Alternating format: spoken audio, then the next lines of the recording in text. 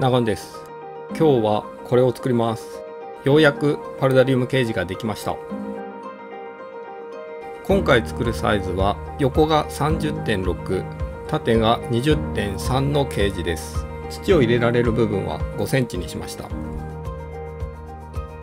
奥行きは12センチです。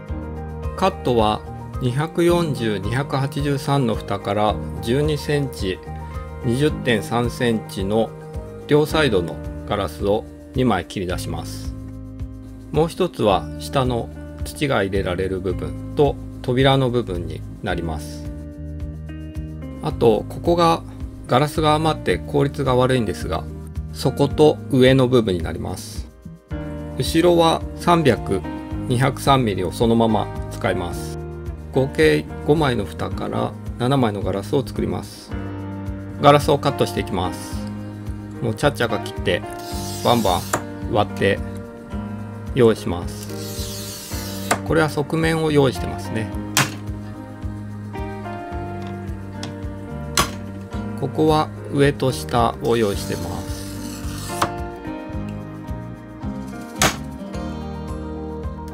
この一番短いのが前面ですね。今日は今回はちょっと失敗したんですけどずれた方が必要ない部分だったんでリカバーできました。これで7枚揃えました。結構綺麗にできたと思います。ちゃっちゃかマスキングしていきます。マスキングも結構慣れてきて結局のところですね端っこを全部マスキングしてシリコンがくっつく部分をカッターでカットするのが一番効率がいいと思います。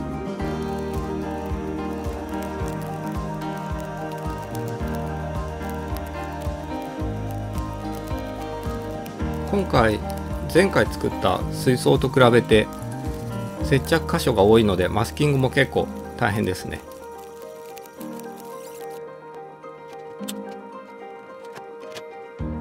シリコンで接着していきます。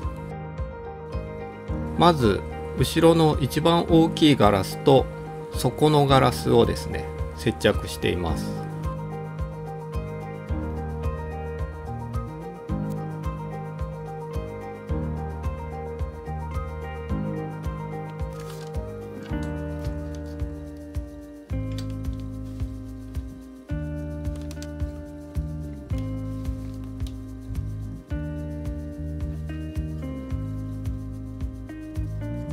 次に天板部分を接着しています。大きい箇所から作って後で側面のガラスをつけていく感じですね。一旦クランプで止めて直角を確認してある程度乾いたら側面をつけていくというやり方になっています。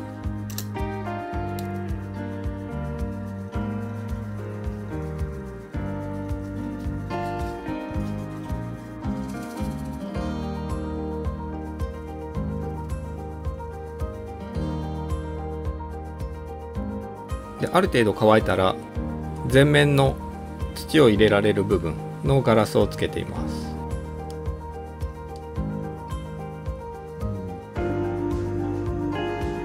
その後側面をつけます。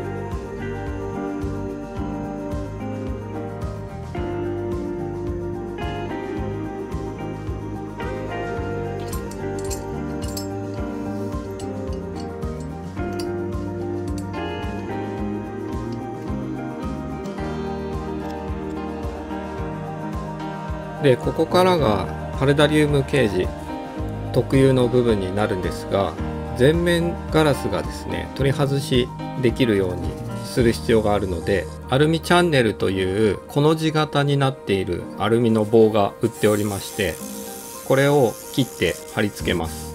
この溝にガラスを入れる感じになります。ダイヤモンドカッターで切ってヤスリで切断面を研いでいます。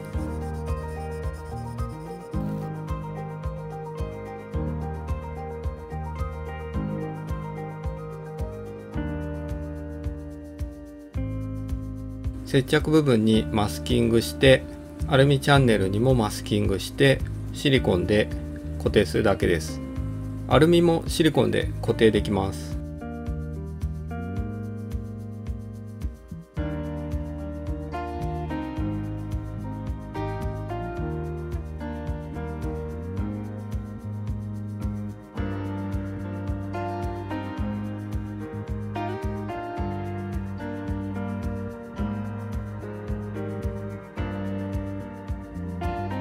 ここが今回一番大変なところなんですけど全面ガラスがですねアルミチャンネルに通すのでそのままのサイズ 300mm だと入らないんですね。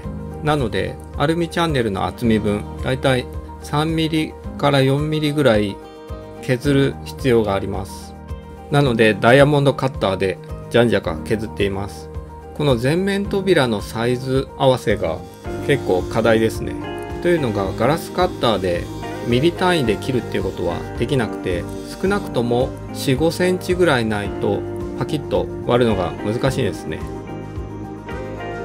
他のガラスから切り出してもいいんですが2 9 5 6ミリというのがなかなか微妙なサイズだったので今回は300ミリのガラスから切り出すこともあって300ミリのガラスを削ることにしました。